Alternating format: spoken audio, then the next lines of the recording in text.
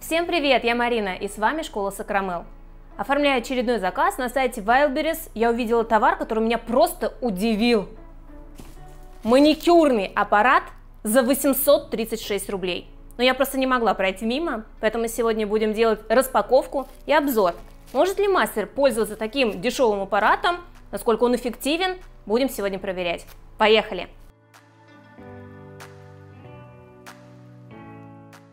Вот так выглядит эта запакованная коробка, тут даже указан артикул, вы можете поставить на паузу и посмотреть, что действительно цена соответствует. Распаковываем, самый любимый момент, да, когда ты раздираешь упаковку и достаешь эту коробку. Так, справились, теперь открываем. Мало того, 836 рублей входит еще подарок. В подарок входят три апельсиновые палочки, бафик одноразовый, а также безворсовые салфетки. Ну, это просто обалдеть, за такую стоимость еще нам подарки предлагают. Посмотрим, тут у нас бумажки, чтобы мы оставили отзыв, и сам аппарат. Давайте подробнее будем его рассматривать. Блок. Блок очень легкий, просто как воздух, как перышко, регулятор скорости. Даже есть, как я понимаю, переключение направления вращения. Это, кстати, очень важно. Тут у нас подставка для рукояти и ручка. Но ручка, конечно, совсем-совсем легкая. Я не знаю, возможно, как пишущая ручка, вот что-то такое по весу. И тут, что самое интересное, есть какой-то тумблер переключения на этой ручке. На обычном аппарате такого нет. А также в комплект входит набор насадок. Я уже не раз повторяла на своем канале, что не используйте эти насадки, потому что они имеют некачественный абразив и зачастую ими можно пропилить ногтевую пластину, перетереть кожу. В общем, не рекомендую такие к отдельной покупке. Лучше приобрести специальные профессиональные алмазные насадки. В комплекте также есть песочные колпачки, Опять же, они низкого качества, ими можно шлифовать кожу, но будьте очень аккуратны, иначе кожа может травмироваться. Закрываем с вами этот комплект. Я на самом деле его даже выбросила. Так и сделаем. Все. Пробуем сам аппарат. Значит, у нас тут такой шнур. Подсоединяем. Посмотрим на шнур, который вставляется в сеть, насколько он длинный. Он очень короткий. Наверное, они подразумевают, чтобы у вас розетка была где-то на столе. Потому что у меня розетка дальше и уже не дотягивается. Ну, вроде все мы подключили. Посмотрим, вообще работает наш аппарат. Тут включаем он, тут включаем. Работает. Самое главное, что работает. Попробуем ставить алмазную насадку.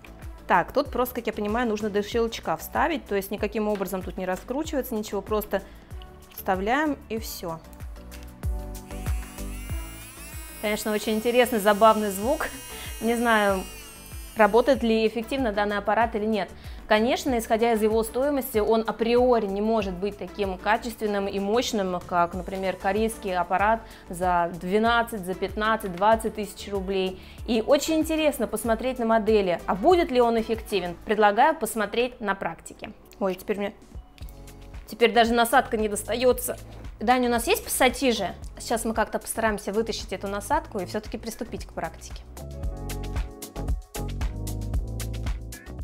Подключила аппарат, вставила твердосплавную насадку. Что сразу хочу отметить, что аппарат имеет мощность 25 Вт.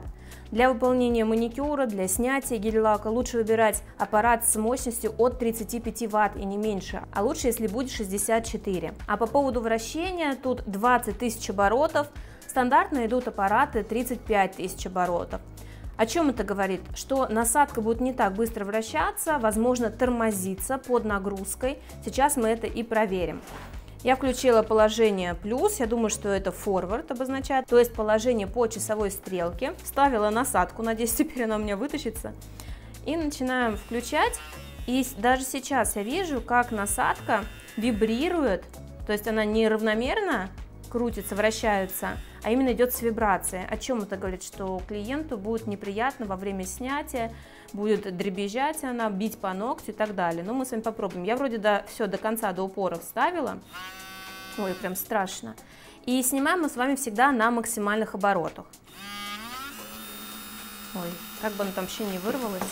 Так, ну что, давайте, вот у меня ручки модели. Будем снимать сегодня такое покрытие. Ой, мне, честно говоря, даже саму немного страшно, так, это у нас получается реверс. То есть мое предположение, что форвард это плюс не оправдалось, теперь делаем в обратную сторону. Угу. Сейчас по часовой стрелке. Так, снимаем, все нормально.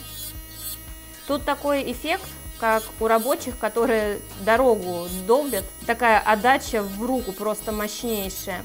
Ну и знаете, что еще хочу сказать? Что насадка у нас, получается, не до упора стоит, и прям чувствуется, как она в блоке уходит в разные стороны.